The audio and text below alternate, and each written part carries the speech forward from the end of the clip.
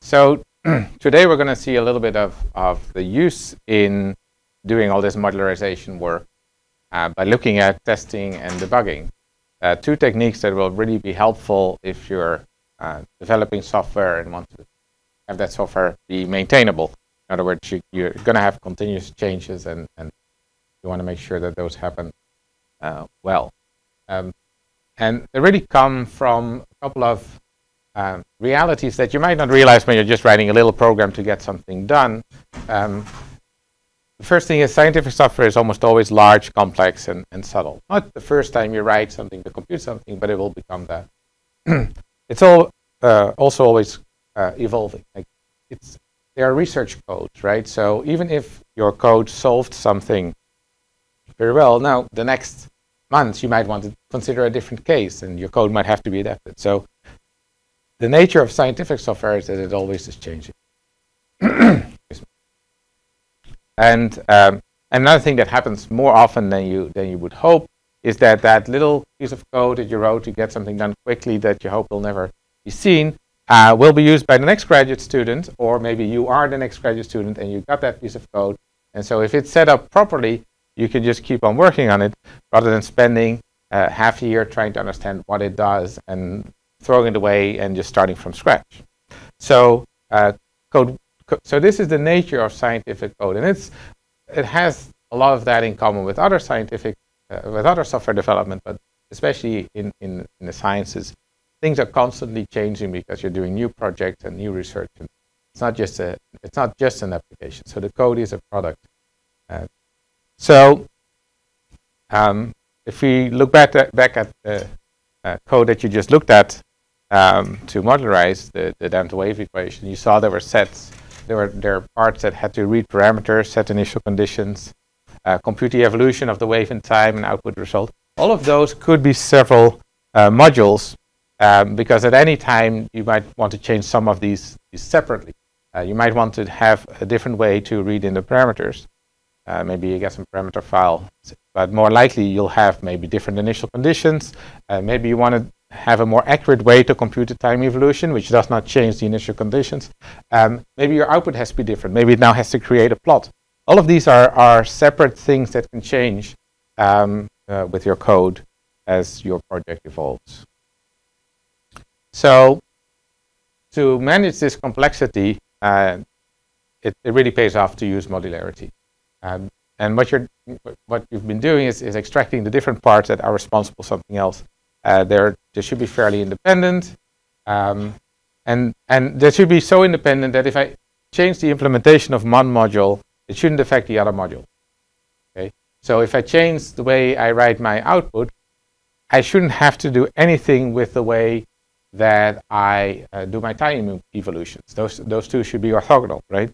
Um, and when that is the case, if you set it up that way, this complex piece of code becomes more manageable. In fact, if you have enough grad students in your group or enough postdocs, you could eat, have each part be maintained by a different person. Maybe somebody is really good at writing uh, binary netcdf files.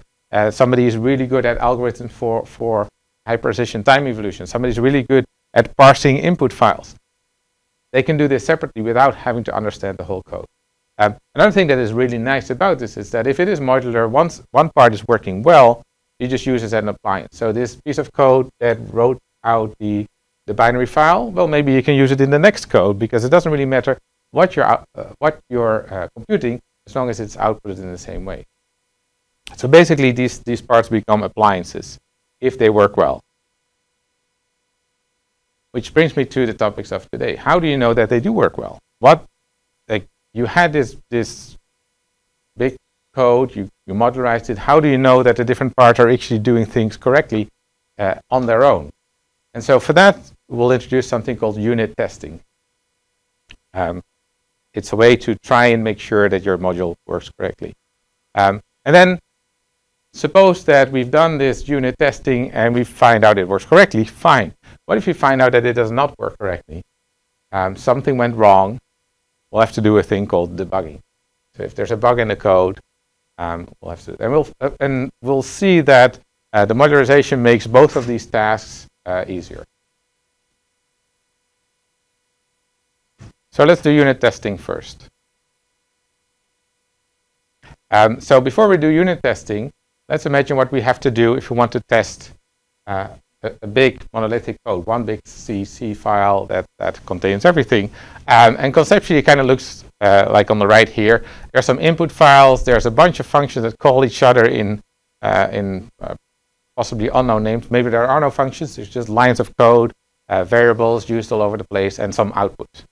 And so if that's what you have, if you have just one big code, um, all you can do to test it is to basically try it. So you're going to run it. Now, suppose you wanted to know the evolution of this damped wave equation, and you run it and you get an output. You have no way to know that it is correct because your research project was to find out what it is that it does. So to have a proper test case, you'll have to compute something that you already know. So you'd have to give it um, some sort of initial condition of which you know uh, what will happen. And if this is a very expensive computation, you also want to make it simpler. You want to take a small case. Maybe you don't have a million grid points, maybe you have 10, right? Um, the result isn't going to be very interesting or very useful, but that's not the point. That you're going to try and give a simpler use case or a simpler input um, so that you know exactly what should come out. And then you can check. So that's a test. It's a test to see if your code, if your, your application can reproduce something that you already know. Uh, it's going to be smaller and it's going to be uh, uh, simpler um, because otherwise you wouldn't know what to, what, what to expect. So this can only prove if something is incorrect, right? And this is the, this is the conundrum with testing, but it's the whole conundrum with science. We cannot prove anything in science. We can only prove that something is not right. And yet we seem to be more and more confident in our scientific theories. The same is true for, for software development and testing. Um, you have a test. If it fails, your program was, was wrong. If it passes, you have more confidence that your code is doing what it's supposed to be doing. Okay? So it's a good test, and especially a good test because suppose it was working and you change something in the code, it should still be working. So it's a good way to test that something broke along the way as you were editing your file. Some bugs slipped in. Um, so tests are still very useful even if you're, you're confident in your software. Okay? But the trouble with integrated testing is that if this is what you have, you have only one data point. It either worked or it didn't work. It's true you could come up with some other input examples to give you more tests, but um, you don't know if the different parts are, are defective or if they just happen to not be called in a way that, that makes them fail. Now, if you've modularized the code in, say, n parts, you're in a better situation where you can test each of the n parts. So if your code can look like, or is, is nicely modularized, I can make an input for each of my modules and expect some output and create a test for each of them. So each of these modules should now be able to be tested. So you could think of these, these blocks, these colored blocks as, as maybe functions that you defined, right? Um, rather than having everything in one big function, you have different functions that have has input and output. Um, and as long as you stay clear of global variables, these are isolated functions. Nothing, like it either goes into the function, out of the function, you control that. So you can write a test that gives certain input to the function, uh, of which you know what should come out and, and see if it indeed does. Okay, so that's the idea of, of unit testing. Each of these units, each of these parts of your code, each of the modules can be tested separately. Um, what is also very nice about that is, is, is not just that it gives you n more points, so more confidence in your code, it also means that if something doesn't work, say, uh, say my yellow square there gives me an error, then, but the other ones all pass their tests, then all I have to look uh, at is the code that is uh, uh, that that produces that yellow square, right? So there's a lot less lines of code to look at uh, to find the error. So this will uh, will speed up uh, my my debugging as well.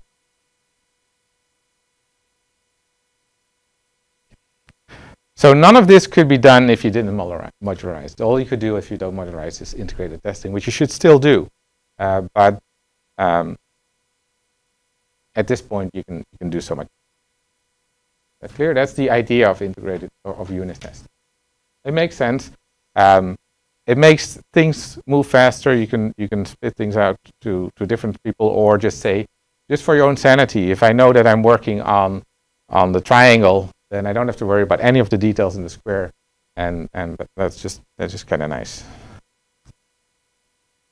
So I'm putting on the screen here uh, the example of a couple of lectures ago, uh, which I never explained very well, but a code that is pretending to compute the ground state of a hydrogen atom, uh, which it doesn't, but um, let's just pretend.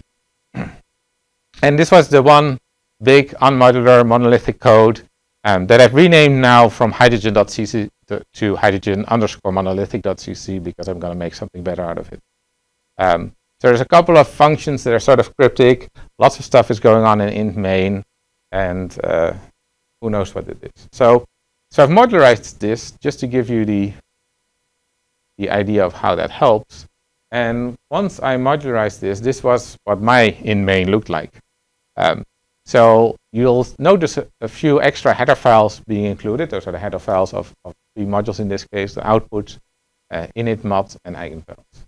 And um, if I name, if I use reasonable names for functions and modules, um, it'll be more evident what the, the code is going to do. So um, my first line in int main sets an n, and then I define a matrix of n by n and a vector of, of length n, and then I initialize a matrix, and um, and then I compute the ground state of that matrix, and uh, and I'm writing out uh, the vector a, both in ASCII and in binary. We saw a bit of this before too, where we had these these two uh, ASCII and binary write, uh, uh, writing functions. Now, this still misses things like proper comments, um, which I'm not putting on the slide because they, they would get a little bit in the way of the point. But a lot of the functionality has moved into, into the different units and into the different modules. Um, now, to get that all tied together, I need a makefile. Just so just for completion, I show you kind of what the makefile would look like.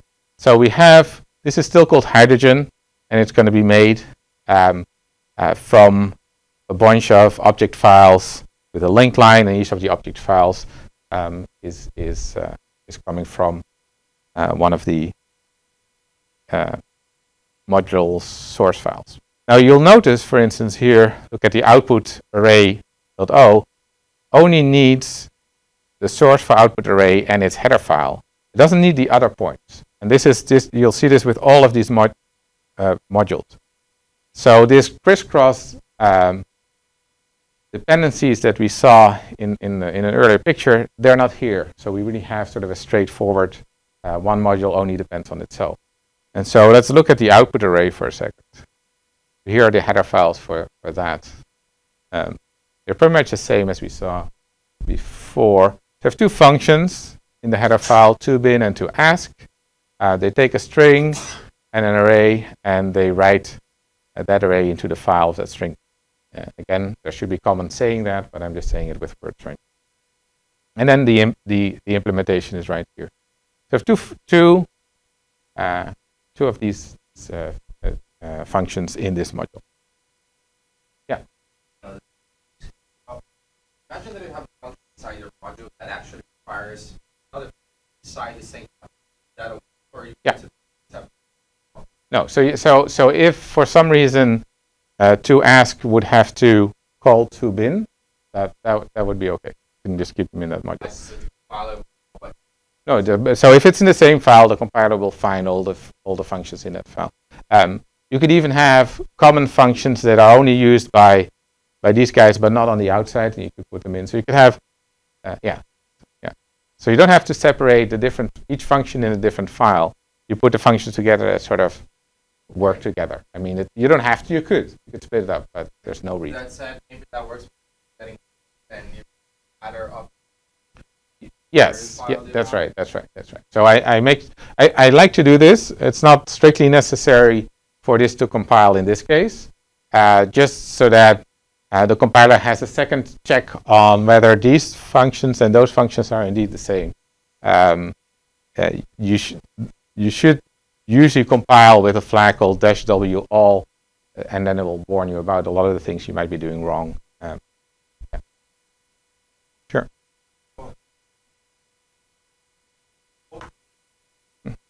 Yeah? Yes. Yes. Yes. So the hydrogen. Yes. Yes.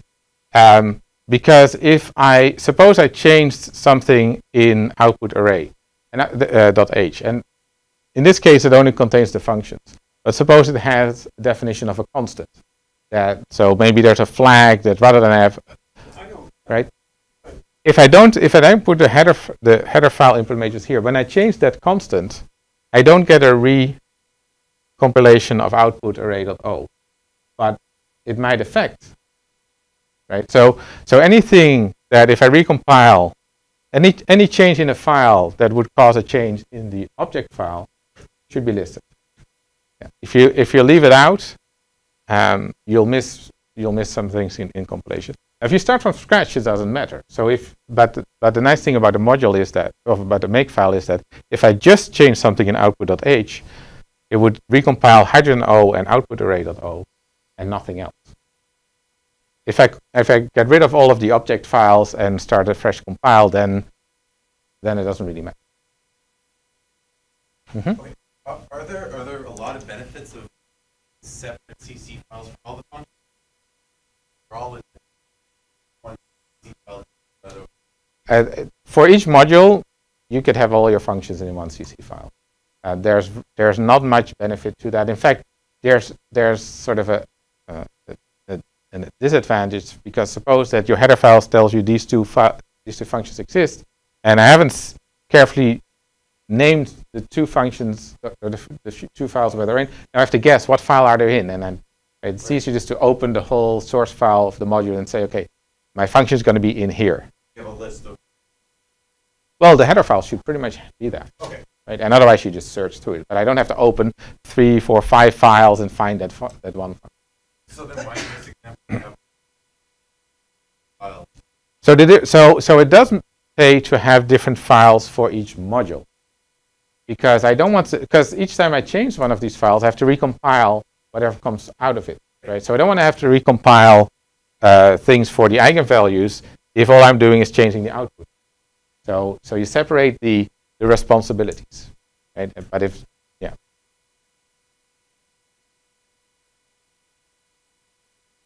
Okay, so suppose we have this set up um, and we went from a, a, monolithic code to, to a modular code. Then uh, one of the first things we should do is not unit testing because we started with a monolithic test and we can't, uh, we can't really unit test that. Uh, but we'll do an integrated test. And this is something that is actually very useful um, either to do by hand or to put in your make file um, where um, you take your original code that you're going to be changing. You're going to be what's called refactoring into a modular code. Um, and you save its output. So you ha just have it run. So here's just, you know, you, you compiled it. In this case, I could compile it with, with a, a straight single compilation line. Um, and I run it and I put the output in uh, in a different file. That's uh, that its name indicates where it came from. And because this function or this, this application saves its, its data in data.bin and data.txt, which is hard-coded and which it shouldn't do and we should fix at some point. But at this stage, that's what it does. We'll move these guys over to, uh, to have a different name that, again, reflects that they came from the old code. Then I'm going to make the modular code and I'm run it again and, and put its output into a file that is just hydrogen.out. So that's, that's the new file. Um, it will also have generated a new data.bin and data.txt. This is why I moved them into different files, so I won't overwrite them and I compare them later. So once I've run them in the old way and in the new way, and I have these three files, I can compare the I can compare the outputs and see if they still give the same stuff. If all I'm doing is rearranging code and modularizing, they should give the same result. Um, this is especially true if you don't uh, compile with, with optimization that might also compile to some funny business. So this should be exactly the same. Uh, there's two commands in, in, in Linux to do this comparison. There's a diff command that does text file comparison, and there's a CMP command that can do binary file uh, comparison. Uh, since uh, out and text are text-based and these are binary, this is how I did. So it'll tell you whether they're, they're different. In fact, if they're the same, it won't say anything. That's very Linux-like. Uh, so I can check whether I still have the same. So as you're doing a, a, refactoring, so a, a, change of the code that isn't really changing what it does, but how it is structured. um, this is a good thing to have. This is a, a, a, very valid integrated test where you say, okay, my old stuff and my new stuff give the same results, so they're fine. Um, and you have to do it when you're when you're modularizing because you can't do unit tests yet. Okay. So I don't know if you guys tried to do this as you were modularizing. We didn't say you had to, but it would be very useful to know that you're on the right track or that you made a mistake. Um, one warning, just for comparing output, um, especially in binary uh, output, we're dealing with floating point numbers, and we'll learn a lot more about floating point numbers in the next lecture. Um, this byte for byte comparison, this this is, isn't quite doesn't always work. Um, floating point is subject to round off, and round off can mean that one variant of the code and another variant of the code might not be exactly the same, but very close. Maybe they're 10 to the minus 15 close. That might be close enough for you. Uh, but these tools, comp and diff, won't will will fail. They'll say, okay, something went wrong. We'll need to build something more uh, more sensitive to to to allowing some tolerance. Yes. So so diff will tell you what line it went wrong. That's nice. Uh, but it won't tell you where in the code it went wrong because it can't. It'll just tell you where in the output it was, it was wrong. So how to know where in the code it went wrong, that's the part, that's the debugging part, and we'll, we'll see that in a second. Okay, so that's the, that's the integrated testing. Um, again, makes sense. Uh, things before and after should be the same uh, if it's the same code. And as you're, and you could still do this if you're making changes to the code, um, modular or not. Uh, this is something you can always do, and it's something that you should try and do. Um, but now that we have a modular code, we can also make unit tests. And we can make unit tests for any of the modules. So I picked out the output array because you don't have to know much about the problem to understand uh, roughly what's going on.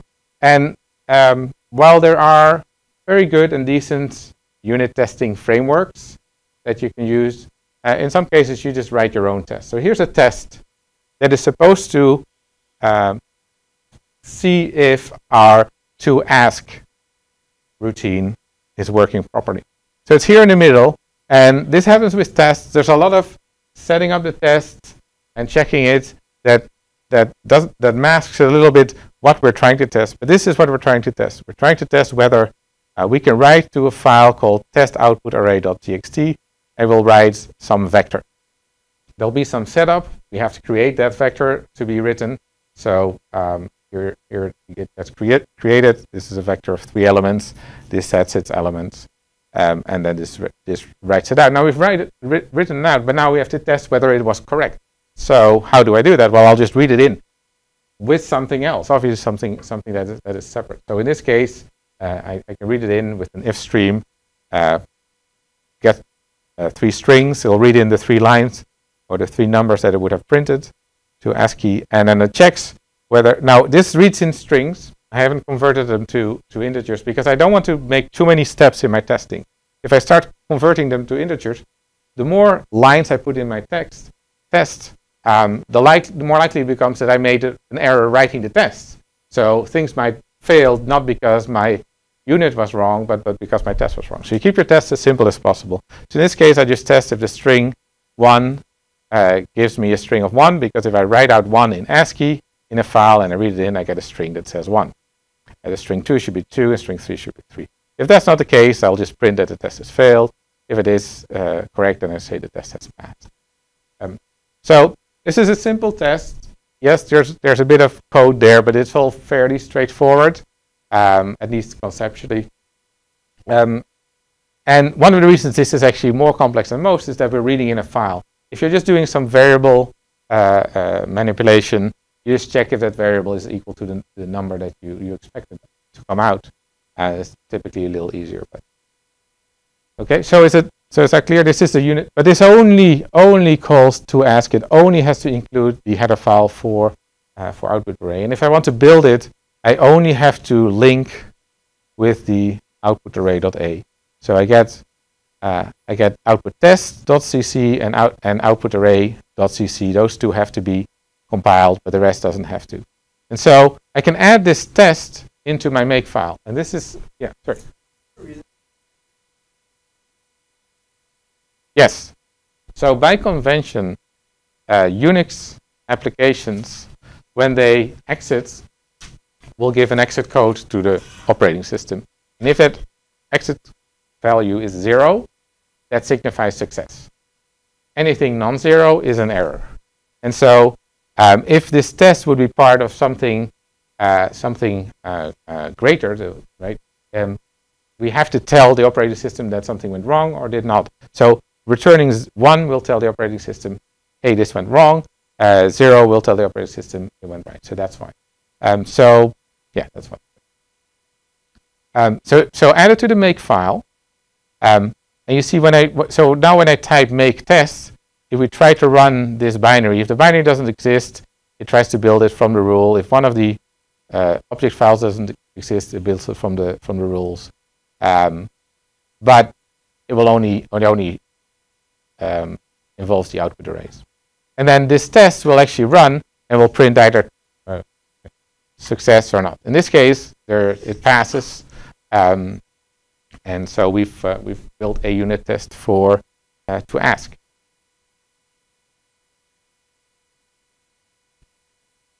You can imagine writing more tests for it. You can imagine writing more complex tests for it. But if this one if this one doesn't pass, something went wrong. I'm deliberately writing out things that are uh, integers, um, so I actually don't have this round-off issue. Um, but it's it's uh, so to do this properly, I should have each module have a test suite. Output array should have a test suite, and I say test suite because every function or every class that's in your module should get tested, right? Otherwise, there might be parts of your code that you you cannot have any confidence in. So if you're doing this very, very diligently, and you might not always have time, but ideally, ideally this is what you would do. You would take every function that is in your module, you'd write a little test for it, you put that test into your makefile so that all you have to do is type make test and it tests all those things for you. Right now, you have built your own framework. Um, so, for instance, uh, the two bin uh, uh, function should really also have a test. And that's why I'm calling these test suites, uh, because there's a bunch of tests uh, that all belong to the module, not just one test for one module. It could be a bunch of them. I could try printing out um, a, a, longer array and see if that still works. Uh, that's a separate test as part of the suite. Right? Um, now, I already pointed that out. Uh, and again, so this testing will actually give you confidence in each module separately. And so once I, I know that they work well, I could use them somewhere else and, and, and not be worried. And I can use those unit tests in that other project, right? They, they are part of the module, not part of your, your application per se.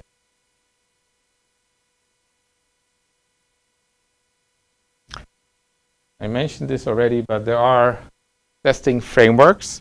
And that's because there is extra coding to do these tests. And in fact, uh, the part that you're coding that you're testing for is like one line, and the rest is all setting thing, setting up some variables, passing it to your function and testing those variables, or even worse, in this case, um, testing the, the, the output files that it created. Um, and these tests, they have to be maintained as well. Every time you add lines of code to your code base, there, there you have created more spots for you to make mistakes in. And so you want to keep that as short as possible. A lot of these things are repetitive too. The thing that just writes the name of the test or, or checks if it fails or returns one when it's correct when it's not correct or zero if it's correct. Um, it's easy to make a typo and just reverse those, have the if and else wrong. So that's why you have frameworks. If you're doing a lot of testing, it helps to have a lot of this overhead taken care of and, and, and, and um, be tested itself. Uh, a few ones kind of stand out uh, as being fairly well developed. Uh, Boost.test, which is part of the Boost library suite, which is a whole bunch of libraries um, uh, for C++ that are uh, sort of peer reviewed in a sense. So they, they, they, don't get into the library suite until they are approved. So Boost Test is one of them. And, and um, another one that is fairly popular is the Google C++ testing framework. It's also known as Google Test. So if you're Googling it, Google Google Test. Um, uh, but there's there's a bunch of them, and uh, if you're going to use any of them for your homework, then uh, please use Boost Test. It would take us too long for ourselves to learn all different frameworks you might find out there. So just, just even if you already like the Google C++ testing framework, please just either write your own tests and not use a framework, which is fine, or use Boost Test. Um, and so if you're going to use this Boost Test, um, this is kind of what it would look like. So this is the uh, sort of the equivalent case for uh, uh, for testing to ask, and it has a couple of funny little parts. Um, you have to define a module name. You have to define this variable boost test dynamic link. Don't ask me exactly why. You can imagine it has to do with dynamic linking, but um, if you don't, things fail. Uh, but then once you've done that and you've included the boost test unit test header, um, you can create test cases just like that. So you just say, I'm going to have a test case. It's called to ask underscore test. Um, and you can create your file. This is where, where it does that. You can read it back and you can check. So I didn't have to do much in terms of returning one, returning zero. Um, have to, uh, my if statements can't suddenly be wrong because I just say, this is what you should check for. Um, I could have several checks in there. I could have um, fatal checks or checks that will fail, but it will still go on. You have a lot of different possibilities in here. And then you can compile it simply by compiling as usual with the output. So output BT is the is the boost test in this case. Uh, you'd have to still link with output array.o, and they have to link with this library. We'll talk about libraries a lot later. A dash small l, and it's hard to see, but that's what this means, small l, boost unit test framework will link in all of the machinery that makes these things work. And then if you run it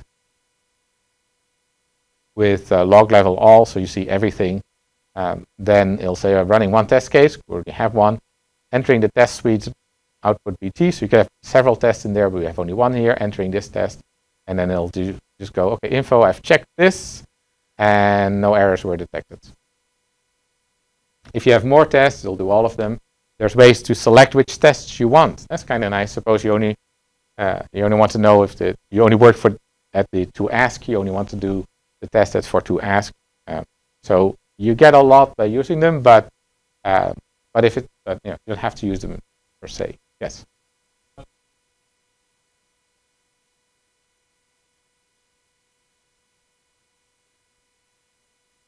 So so this is where you kind of have to trust the framework to do what it what it's supposed to do.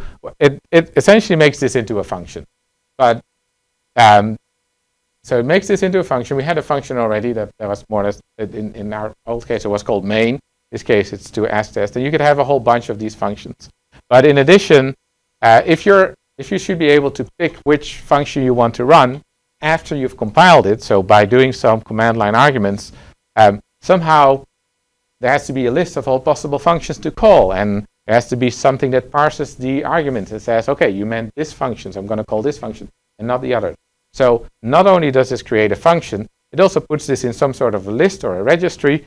Uh, that's actually what the auto does. It automatically registers this as a valid test that you can select from the command line. And then somewhere else, there's an int main that actually is there to parse your arguments. All of that is part of the framework. So all you have to worry about at this point is to write a function that would test something and then to wrap that function into boost auto test case.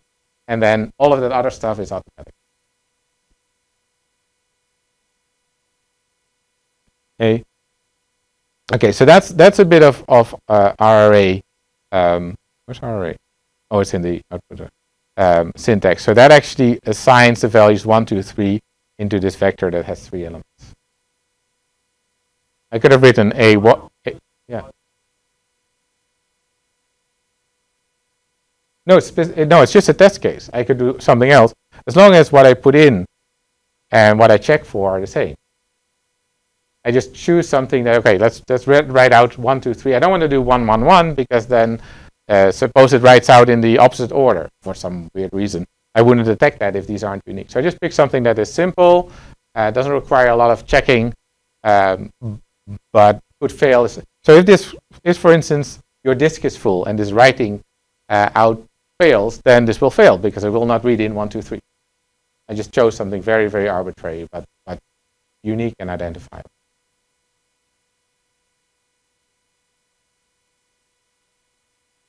So that's that's in a nutshell unit testing.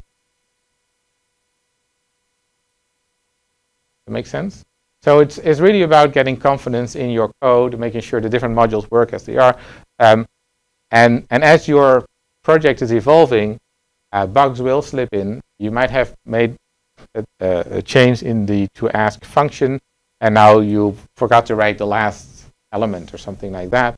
You would pick it up right away as soon as you make that mistake. So each time you, you change a module, you should run your tests and see if, if everything still works. So that's sort of a preventative way to make sure that things aren't uh, aren't going wrong too bad. But what if they do, right? What if your code is not running correctly? Who here has ever had a code that doesn't run correctly? Nonsense. All programs execute correctly. You just told it to do the wrong thing. And that's the real kicker with debugging. there's no bugs. They don't exist. The program does exactly what you told it to do. The trouble is, what we think we told it isn't what we told it. So our mental model of what we think the program is doing and what we're actually telling it to do is wrong. This is why debugging is hard. Like this little cartoon. I don't uh, understand how my brain works. But my brain is what I rely on to understand things. So is that a problem? I'm not sure. The mental model is in your brain, and your brain is trying to figure out what's wrong with the mental model. This is why you need help. So this is where the debuggers come in. So you could be, you could think very hard about your problem, and maybe you will be able to change your mental model into, into being correct and saying, "Oh, I did this, whereas I meant that." And eventually you will get there, right? But you need a little help. And so figuring out what your program is actually doing um, is, is going to be useful to know where where things start to deviate from what you think it's going to do and what it is really doing. Um, now, you can avoid debugging a little bit by writing better code. We've tried to do that with the modularization and, and doing, uh, doing tests. Uh, avoid Q tricks. Don't write up, uh, obfuscated C code. Um, it, it, you might think it's clever to be able to solve your problem in a one-liner rather than a 10-line function, but will you still understand that code in a month? And what if there is a mistake? Will you ever find it? So um, you could you could avoid getting bugs in your code by not writing code. It sounds silly, but it's true. So if you use existing libraries that already have the functionality you're after, and they are tested, then you don't produce any new bugs. Testing, we talked about that. Switch on the W all flag. So whenever you compile, you can do dash W all and, uh, and, and inspect the warnings. This will give you all kinds of warnings. Make sure you understand them. Make sure why uh, things aren't the way uh, the compiler would um, want them to see done and, um, and fix them if, if, because they, they are typically potential bugs. There's something that you might not mean to do it this way, um, and, and the compiler will give you those hints. And you can check for arguments. You can use assert. Um, here's a little example of how you would use assert. Um, there's a little header called cassert. If you're computing a square root, you could check if the argument is bigger or zero, bigger or equal to zero before you return anything. Um, this might be a little bit um, fine-grained, but doing some of these asserts at a higher level could catch things. Your, your program will crash if it, if it doesn't match the assertion, and it will tell you where. So um, that's sort of defensive programming. But suppose this really, really didn't work, okay? Um, you know, suppose there is a real bug, and suppose you've already eliminated a whole bunch of possibilities. You, there, the bug is in a specific module. The module has a test. The test has a very small case to look at. So all of these things you've already done. But now you need, need to know, okay, where does it go wrong? I know it goes wrong. I can reproduce it. That's important. It's a scientific method. Um, how do I get there? Um, which of these things, for instance, is going wrong? Do I have a corner case? Am I taking the square root of minus zero or infinities? Um, is my index out of range? Am I trying to access an element of an array that doesn't exist? Um, am I putting wrong input in there? Is my syntax wrong? The compiler will tell you that, but if the syntax is wrong but still valid, it will just do the wrong thing. Um, do I have a memory leak? So I run out of memory, and that's why I crash. Um, there's uh, a couple of specific bugs related to parallel programming that we'll see towards the end of the course, uh, race conditions, deadlock. Which of these is, is the case? So to figure out what they are, um, there's two general strategies. There's the, I'm going to put print statements everywhere and see what's going on and whether my, valid, my, my, my, my variables have the value that they should have, or use a debugger. Um, the debugger can do point one as well, so it's sort of a, a superset of this. Um, but you know, it's hard to find any programmer that hasn't done one. Like I, I still do this every now and then. Going, I'm gonna just gonna print out what happens. Um, so what's wrong with that is that you're in this constant cycle of trying to add print statements where you think something could be going wrong, to compile it and run it, and then analyze the output too, only to find that, well, everything seems hunky-dory uh, uh, as, as, far as these print statements are concerned. So let's add some more st statements and compile again and run again and analyze the output. So you're just constantly adding these things. And, and this is kind of related to this idea that your mental picture will tell you where to put print statements, but your mental picture was wrong, right? So, and then after the fact, you have to remove all these print statements. And so you could even make errors removing a print statement and, and remove more, more than you wanted, uh, creating more bugs. And then for every bug, you basically do this. So it's a bit time consuming, error prone, and also changes things. All these print st statements, especially if you have memory, memory issue, issues, um, change the exact layout in memory. So it could affect things. So the better way is to use the debugger. Um, it can do a bunch of things. Um, it can do very useful things like, okay, your program crashed. Where did it crash?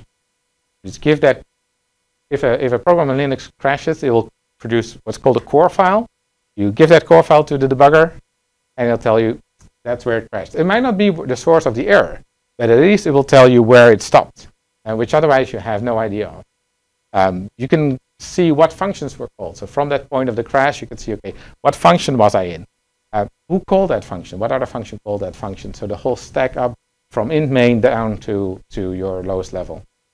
Um, that's if it, things already crashed. Suppose you, you it, it, does, it doesn't crash, it hangs for a long time. You could go into your code and, do, and step through it line by line and see where, where it goes. Um, almost all codes have some branch points where there's an if statement that says if this, then do this, else do something else.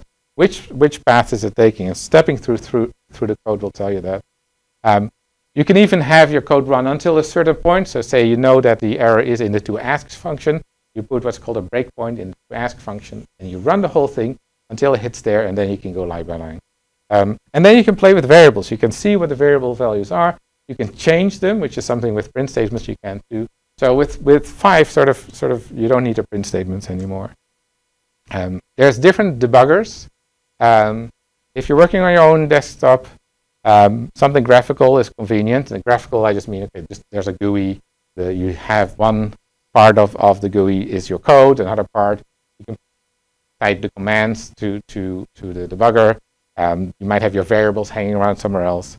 Um, when you're doing that remotely, like if you're if you're running on SciNet, uh, that kind of graphical stuff can be kind of slow.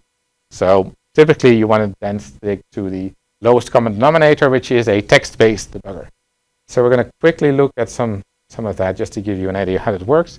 And there's one thing that's very important, and, and if you've looked at the slides, I, I tend to do this already, you have to prepare your executable to be understandable uh, for, for these debugger programs. And basically, you just add dash G to the compilation and to the link line. Now, because there are differences in versions of the compiler and the, uh, the, the, the, debugger, and they don't always talk the same language, you can be sometimes more specific. This is just an example of what language or flavor of the debugger they're speaking. So here in this case, I chose gstabs. Uh, so stabs is a particular kind. So if you run into trouble, you can play with this, but dash G usually is enough. Um, you might want to switch off optimization as well, just because if you optimize your code or you let the compiler optimize the code, it will shuffle around the order of execution, which is very confusing if you're trying to do step by step, and step by step starts to mean this. How do you know where you are? Okay. So, so you have that file. Yes, that. that's right. And like, pass it later on, you can after calling? Well, the minus G actually doesn't hurt much. It just makes your executable a little bit larger. Oh, But you do want to switch back on the optimizations because that can make things quite a bit slower if you don't have optimization. So, so there are, so most, in most cases, you might, like if you get a little bit more elaborate, you might have two ways of two make files, one for the debug and one for the debug, or, or two targets within the make file, one that builds your debug version and one that's the release version. Um, but you know, that's usually I just put my CXX flags at the top of the make file, and I just added my CXX flags. I do a make clean and make, and I have my debug version, and then I go in again. I change just the top line. So that's it's not much more work than than than maintaining a separate make file. Um, so this common, uh, this lowest common denominator in debuggers is is GDB, which is the free GNU license symbolic debugger. Symbolic just means that it knows the name of your variables and functions. So it really should be named to debugger, but they like to call it symbolic debugger. Doesn't mean much. Um, and the reason that it's great and common is that it's everywhere. It's, it's available in many systems. It's old but still developed. It can do some some parts of parallel programming. Um, and although it doesn't have a graphical interface, it has what's called a, a text user interface, uh, which really just means you see your, your code and your commands. If you don't, if you just have, say, your application that we just compiled here, and you say GDB app, you'll get some text saying, hey, I'm GDB, hello, uh, and then you'll get a prompt. You won't get anything else.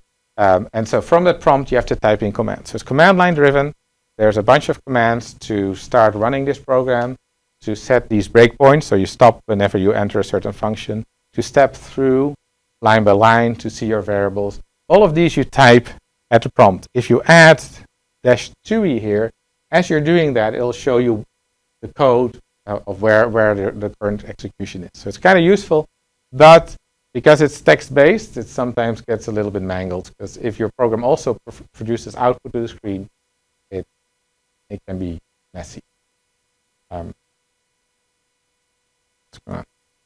so I made a list of some of the uh, some of the things. I was I was planning to do a little uh, demonstration, but we're running out of time.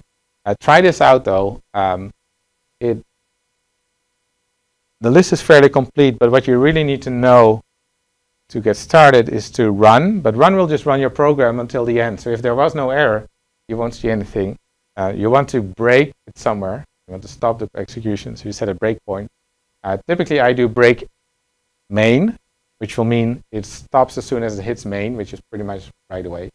Um, uh, you can do, but if you're interested in another function, you could do break and then another function name, and it'll stop at that function. So it knows your function names. That's great. You don't have to say this line number or this file, although you can. Like if you want to stop at a line number, that's also um, once you're at that breakpoint, you're probably going to step through line by line. So step will create will will execute the line you're at. So wherever you just break, uh, I guess that is it. Um, it will do that line and go to the next line, and you can do step by step. Um, next does the same thing, also line by line, and the difference between step and next is that if that line has any function calls, step will go into the function and start executing line by line that function. Next will execute the function and go to the next line of where you are. So if one function, if function A calls function B, then a next in function A will go to the next line of A. A step will go to the first line of function. So, uh, you can print variables, which is going to be your alternative to print statements. Um, but you'd have to say that at a prompt every time. So you, are running a little bit, you want to print what is x, print x, um, and I'll print x. And then you run a little bit more, uh, so you step a few more times, you print x again. If you want to constantly see what happens to x as you're going on, you can do a display. You say display x, and then every time you enter a command, once it's done, you'll print what x is now. Um, the, re the rest is fairly specific, and quit to stop. So just knowing print, step, next, and break, and run is sort of enough to get started. Um, I didn't give you anything that broke, so that, that doesn't really help, but um, try running your programs through the file. I'll tell you that I, uh, this might be good for debugging, but uh, grading your first assignment and running them through a debugger was very helpful to know what your code is doing because everybody does it a little bit different. And so if you, uh, you ever have to grade code, this can be a useful tool as well. um, so we'll, if you are going to go graphical, and, and I, there's nothing bad about this, um, I want to point out two ones that I like. One that is free, it's called DDD.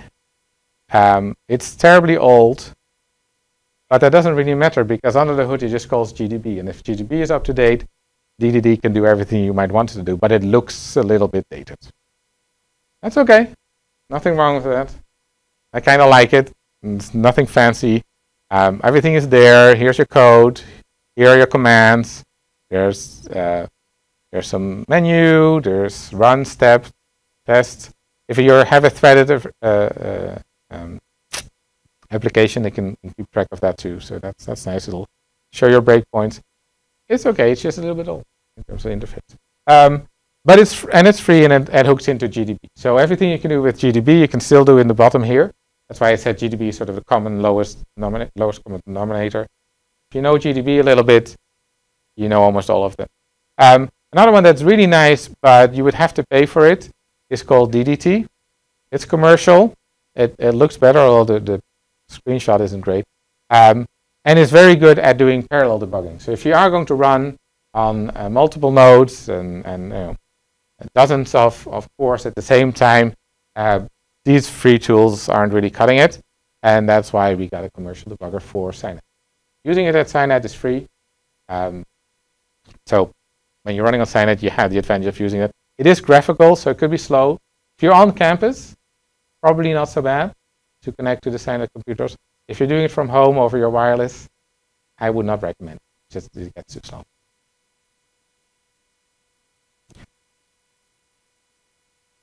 I'm going to stop here. Um, but I, I, would really urge you to just try it out. Just, just compile your code with G, start the debugger with, with the name of your application, break at main and run and, and see what happens. Okay. It'll step through your, your code very, very nice. Questions? Um, about the, uh, the homework, um, we haven't formulated it completely yet, but we'll, we'll post it later today. I'll send around an email saying, hey, it's ready for you to start. And it'll just be due in, in one week, just as normal. There'll be three, yes.